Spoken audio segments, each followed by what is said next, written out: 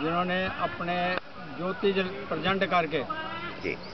हमारे यहाँ के जगदीश जी हैं डीएसपी साहब रिटायर्ड क्या नाम है? जी के सिंह जी। जी।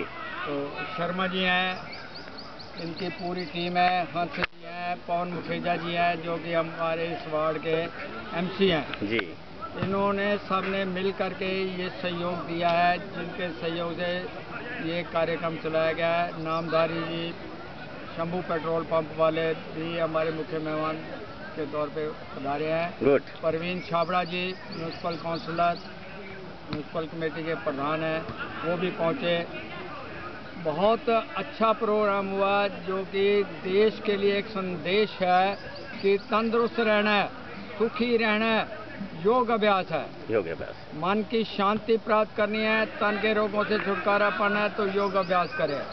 बहु बेटियों की इज़्ज़त बचानी है नशों से मुक्त करना है तो योग अभ्यास करें। तभी हमारा देश उज्जवल भविष्य की तरफ़ बढ़ सकता है। जी। ताकि हम तंदुरुस्त रहेंगे तो देश के अंदर बीमारियाँ नहीं होंगी तो हम लोग तंदुरुस्त हैं।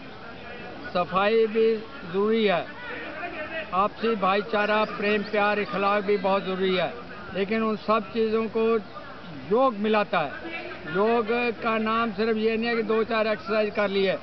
योग का नाम है परमात्मा से जोड़ने का नाम योग है। जी।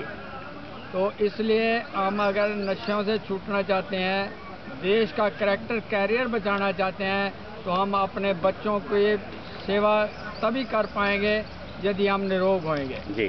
अगर हम रोगी होंगे तो हम देश का कुछ भी नहीं कर सकते उल्टा देश के ऊपर हमारा बोझ होगा।